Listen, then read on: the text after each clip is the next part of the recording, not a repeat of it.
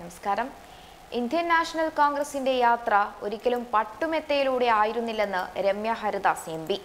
തോറ്റും ജയിച്ചും പിളർന്നും യോജിച്ചും തർക്കിച്ചും പ്രശ്നങ്ങൾ പരിഹരിച്ചും തന്നെയാണ് പാർട്ടി ഇന്ന് അനുസ്യൂതം യാത്ര തുടരുന്നത്. ശക്തിക്ഷയം സംഭവിച്ചതുപോലെ തന്നെ അതിഗംഭീരമായി തിരിച്ചു വന്നിട്ടുണ്ടെന്നും രമ്യ പറഞ്ഞു. അഞ്ച് സംസ്ഥാനങ്ങളിലെ നിയമസഭാ തെരഞ്ഞെടുപ്പിൽ കോൺഗ്രസ് കനത്ത പരാജയം നേരിട്ടതിന്റെ പശ്ചാത്തലത്തിലാണ് രമ്യയുടെ പ്രതികരണം വന്നത്. ഇന്ത്യയുടെ സ്വാതന്ത്ര്യം സ്വപ്നമായി കണ്ടു തുടങ്ങിയ കോൺഗ്രസിന് ആയിരത്തി തൊള്ളായിരത്തി ഏഴിലെ പിളർപ്പ് ആദ്യ കടമ്പയായി. ജനകീയരും കഴിവുറ്റവരുമായിരുന്ന നേതാക്കൾ പരസ്പര വിരുദ്ധ ആശയത്തിൽ എതിർചേരികളായി. മാതൃരാജ്യത്തിന്റെ സ്വാതന്ത്ര്യമെന്ന ലക്ഷ്യം വിഫലമായി തീരുമോ എന്ന സന്ദേഹമുയർന്നു അഭിപ്രായ വ്യത്യാസങ്ങൾ മറന്ന എ സി മജ്രും ദാഹിറിനെ നിർത്തിക്കൊണ്ട് വീണ്ടും ഒന്നായി. അക്കാലത്തെ പ്രമുഖ നേതാക്കളായിരുന്ന മോത്തിലാൽ നെഹ്റുവും സി ആർ ദാസും ആയിരത്തി തൊള്ളായിരത്തി ഇരുപത്തിരണ്ടിൽ സ്വരാജ് പാർട്ടി എന്ന പേരിൽ പാർട്ടി രൂപീകരിക്കുകയും കോൺഗ്രസിൽ നിന്ന് മാറി തെരഞ്ഞെടുപ്പിൽ മത്സരിച്ച കൂടുതൽ സീറ്റുകൾ നേടുകയും ചെയ്തു.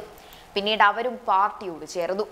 ഗാന്ധിജിയുടെയും നെഹ്റുവിന്റെയും ചിന്തകൾക്ക് വിപരീതമായി മത്സരത്തിലൂടെ സുഭാഷ് ചന്ദ്രബോസ് വീണ്ടും കോൺഗ്രസ് അധ്യക്ഷനായതും സ്വാതന്ത്ര്യമെന്ന ലക്ഷ്യം നേരിടുന്നതിൽ നിന്നും പാർട്ടിയെ പുറകോട്ട് ഇതുവരെ വലിച്ചിട്ടില്ല. ആയിരത്തി തൊള്ളായിരത്തി അൻപത്തി ഒന്ന് അൻപത്തിരണ്ടിലെ ആദ്യ തെരഞ്ഞെടുപ്പിൽ നാനൂറ്റി എൺപത്തി ഒൻപത് സീറ്റിൽ മുന്നൂറ്റി അറുപത്തിനാല് മാത്രമായിരുന്നു സ്വാതന്ത്ര്യ സമരത്തിന് നേതൃത്വം നൽകിയ കോൺഗ്രസിന്റെ നേട്ടം. രണ്ടാം ലോക്സഭ തെരഞ്ഞെടുപ്പിൽ നാനൂറ്റി തൊണ്ണൂറ്റി നാലിൽ മുന്നൂറ്റി എഴുപത്തി ഒന്ന് എം പിമാരുണ്ടായിരുന്ന പാർട്ടി മൂന്നാം ലോക്സഭയിൽ മുന്നൂറ്റി അറുപത്തി ഒന്ന് അംഗങ്ങളായി ചുരുങ്ങി. സ്വാതന്ത്ര്യം നേടി രണ്ട് പതിറ്റാണ്ടുകൾക്ക് മാത്രം പിന്നിട്ടപ്പോഴേക്ക് ആയിരത്തി തൊള്ളായിരത്തി അറുപത്തി ഏഴിൽ അഞ്ഞൂറ്റി ഇരുപത് അംഗ പാർലമെന്റ് ഇരുന്നൂറ്റി എൺപത്തി മൂന്ന് പേർ മാത്രമായിരുന്നു കോൺഗ്രസിന് പത്ത് വർഷം പിന്നിട്ട് ആയിരത്തി തൊള്ളായിരത്തി എഴുപത്തി ഏഴിൽ ഇരുന്നൂറ്റി തൊണ്ണൂറ്റി അഞ്ച് അംഗങ്ങളുമായി ജനതാ പാർട്ടി അധികാരത്തിലെത്തിയപ്പോൾ നൂറ്റി എൺപത്തിനാല് സീറ്റുമായി ഇന്ദിരാഗാന്ധി ഉൾപ്പെടെയുള്ള ലോകത്തെ മികച്ച നേതാക്കൾക്ക് പ്രതിപക്ഷത്തിരിക്കേണ്ടി വന്നു. അവിടെ നിന്നും ഉയർത്തെഴുന്നേറ്റു. അതിനുശേഷം ആയിരത്തി തൊള്ളായിരത്തി എൺപത്തി ഒൻപതിൽ വി പി സിംഗും ആയിരത്തി തൊള്ളായിരത്തി തൊണ്ണൂറിൽ ചന്ദ്രശേഖറും കോൺഗ്രസിനെ അധികാരത്തിൽ നിന്ന് മാറ്റി നിർത്തിയിട്ടുണ്ട്.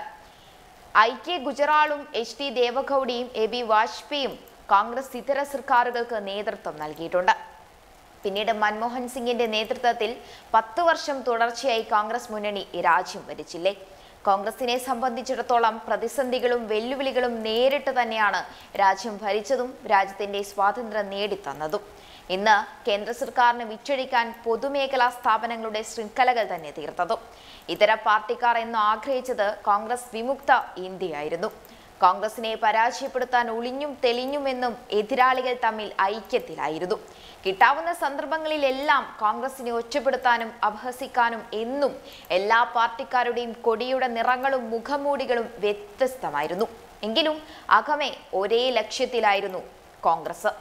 രാജ്യപുരോഗതിയുടെ പോരാട്ടത്തിനിടയിൽ കോൺഗ്രസിന് ബലി കൊടുക്കേണ്ടി വന്നത് പ്രിയപ്പെട്ട ഇന്ദിരാജിയുടെ രക്തമാണ്. ചിതറിത്തെറിച്ച ചിതറിത്തെറിച്ചുപോയത് പ്രിയ രാജീവ് ജിയുടെ തിരുശരീരമാണ്. കോൺഗ്രസിന്റെ നഷ്ടമെന്നും കോൺഗ്രസിന്റെതു മാത്രമായി തീരുകയും കോൺഗ്രസിന്റെ നേട്ടം രാജ്യത്തിന്റെ നേട്ടമായി തീരുകയും ചെയ്യുന്നത് നിർവികാരതയോടുകൂടി കണ്ടു നിൽക്കേണ്ടി വരുന്നത് കോൺഗ്രസുകാരാണ് കോൺഗ്രസ് തിരിച്ചു വരും. തെറ്റുകൾ തിരുത്തി ആർജിത ശക്തികൾ കൂടി രാജ്യത്തെ ജനങ്ങളെ നയിക്കാൻ കോൺഗ്രസ് വീണ്ടും തിരിച്ചു വരും. ഇങ്ങനെയായിരുന്നു വളരെയധികം വികാര നിർഭരമായി ഏഹ്, രമ്യ ഹരിദാസ് ഫേസ്ബുക്കിൽ പങ്കുവച്ച കുറിപ്പ്.